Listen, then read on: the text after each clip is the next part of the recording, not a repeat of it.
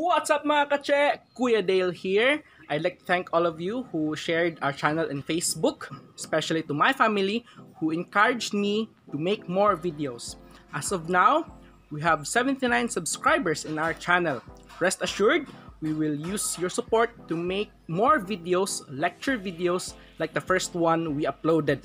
If you haven't watched it yet, the link is in the description below.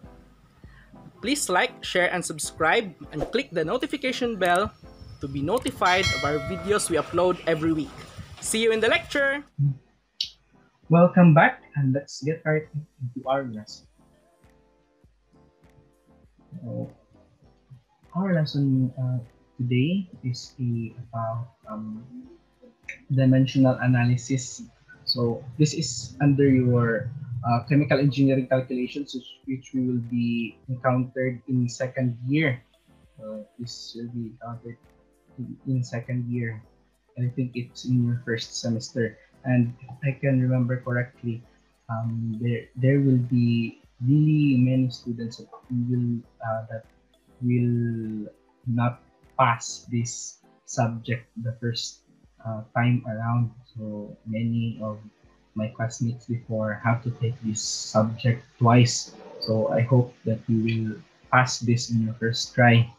And uh, I will not say that it's really an easy uh, course, but it's a bit challenging. So what I'm sharing uh, to you right now is a bit simpler side of the chemical engineering calculations. So uh, there are two uh, there are three. Uh, there are three parts of this uh, lesson, which is the systems of units, which I will be introducing to you, and then the conversion of units, especially from SI to English to American Engineering units. So, and then dimen dimensional consistency. Okay.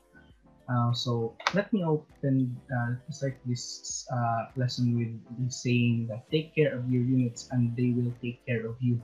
So actually uh, there there are a lot of um, errors in the past regarding units. So, for example, there was this uh, one pilot that uh, was mistaken. So the control tower, the control tower sent uh, sent a um, uh, the the altitude so that he, uh, that the pilot will follow. So he uh, he ordered the control tower operator on ordered the pilot of that airplane to uh, go to 1,500 meters, so 1,500 meters.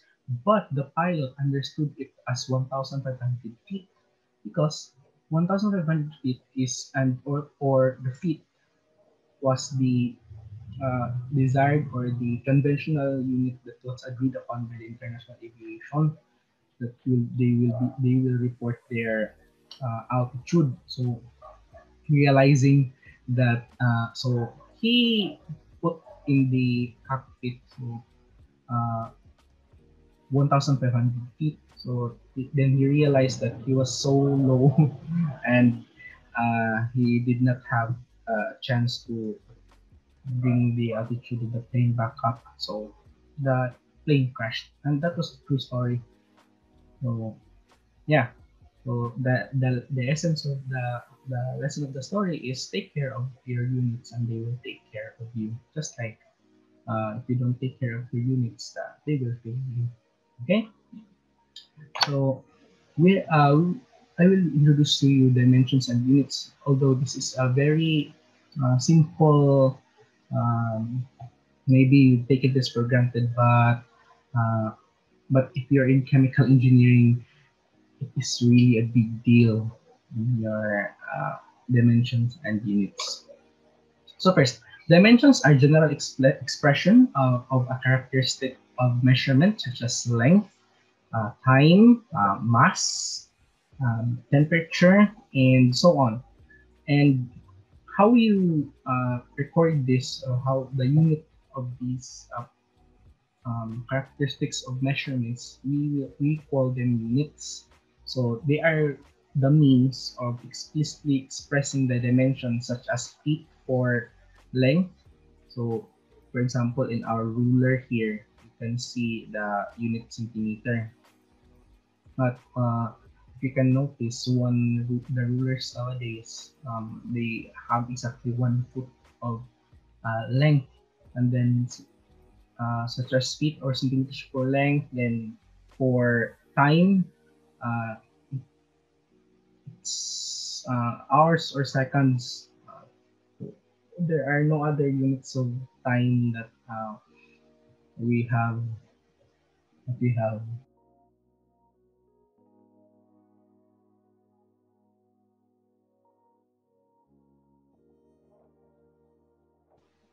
So for mass or weight, we have kilograms or pounds, and then for uh, for uh, temperature, we have degrees Celsius, degrees Fahrenheit, Kelvin, and degrees Fahrenheit. Okay, so we have those kinds of units. So there are two uh, types of units uh, used in chemical engineering. So first is the SI, or formerly called the Le Système International Unit and informally called SI, or more often, uh, redundantly, SI system. So the system there, uh, the S there stands for system, but still the people call them SI system of units. So here they are. So for for the mass, we have our kilogram, and then for our length, we have our the meter. For time, we have second.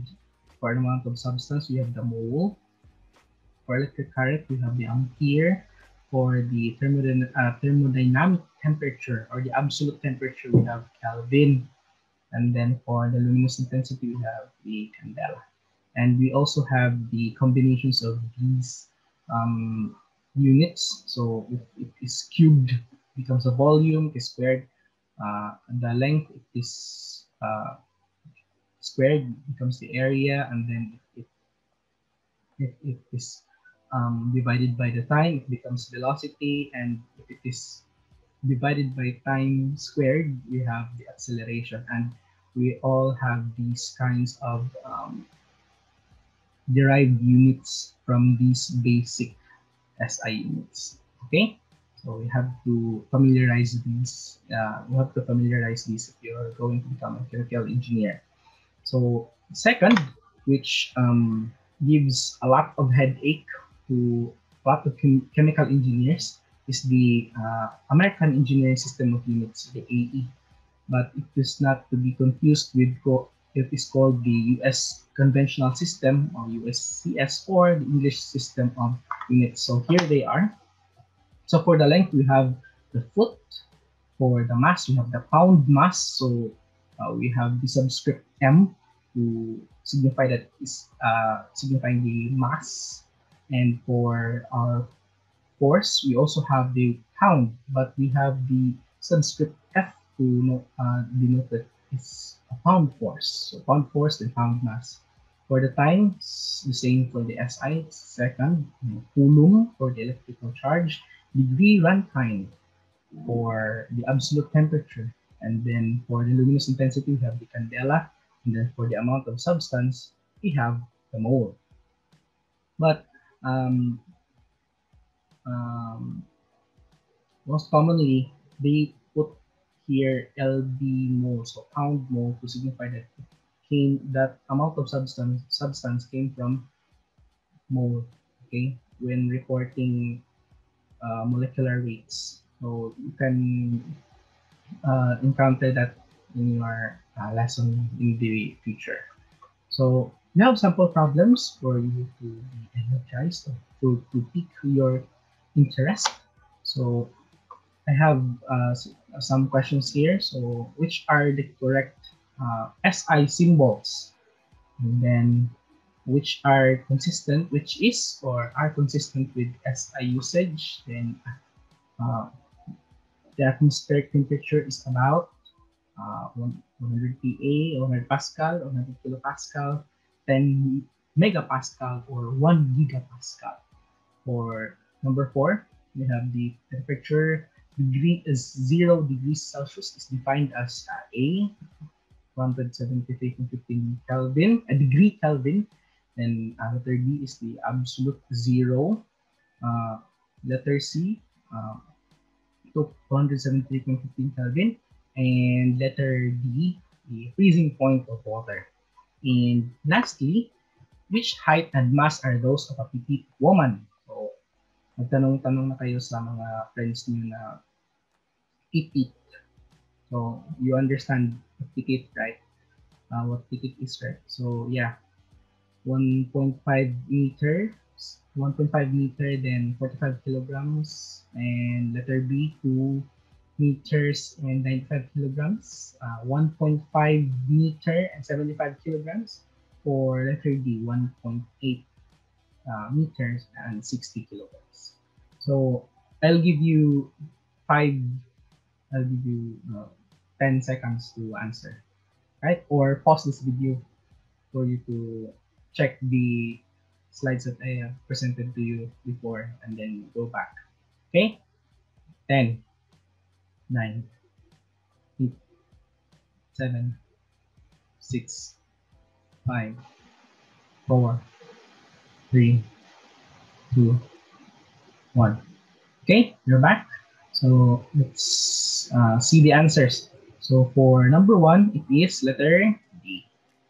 Okay, then for number two, we have letter D also. For number three, so actually 100, uh, 100 Pascal is uh, way, way up in the atmosphere. And then for uh, letter C, it's way down below the uh, sea level because as the uh, depth increases, the pressure also uh, increases and all uh, absolutely most definitely 1 gigapascal is uh, you're crushed already. So the correct answer is uh, 100 kilopascal because uh, it uh, for you for a person in sea level you have 1 atm which is equal to uh, roughly equal to 100 kilopascal. Okay, so you have to practice your um, conversion. So the temperature 0 degrees Celsius is defined as letter C. Okay, so to convert uh, the temperature from uh, Celsius to Kelvin to Kelvin, so you have to add 273.15 to it. So we have 273.15 plus the temperature in degrees Celsius. Why not degrees Kelvin? Because it is not the appropriate unit. The only unit is Kelvin, not degrees Kelvin. Okay? And natanong niyo na ba yung friends niyo kung ilan, uh, gaano sila kakangkad at gaano sila kabigat? So, uh, I have a friend, so she really uh, she weighs, uh, she is 1.5 meters and uh, 45 kilograms. So it is uh, consistent with what we have observed in nature. okay, so I have a practice problems for you and you may answer it in the comments below or you can PM me your answers and I will uh, validate them. Okay, so which which of the following best represents the force needed to lift a heavy suitcase? So 25 newtons, uh, 25 kilonewtons, uh, 250 newtons, or 250 kilonewtons. Okay, so I have uh, GIF there to um, for you to gauge how heavy it is. So next, so pick the correct answers. So a watt, a watt is. So it has the symbol of W. So uh, is it one joule per second? Uh, is it equal to one kilogram per uh, one kilogram times uh, one kilogram meter squared per second squared? Or are all of these unit all all types uh, unit for all types of power, or all of the above, or none of the above? Okay. And lastly, uh, is kilograms per second uh, basic or derived unit in SI? Okay, so go back to the uh, picture that I have um, showed you earlier for the this.